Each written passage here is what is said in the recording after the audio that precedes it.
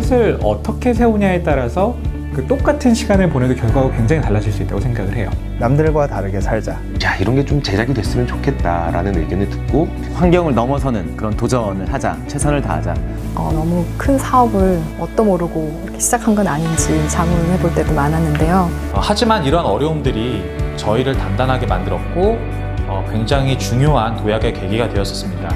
물음표를 느낌표로 만드는 무한한 생각을 있습니다. 지구에 머물러 있느냐 아니면 달까지 가느냐의 차이라고 생각을 하거든요. 그럼에도 불구하고 의미 있는 일에 도전하는 사람들이 이끌어간다고 생각합니다.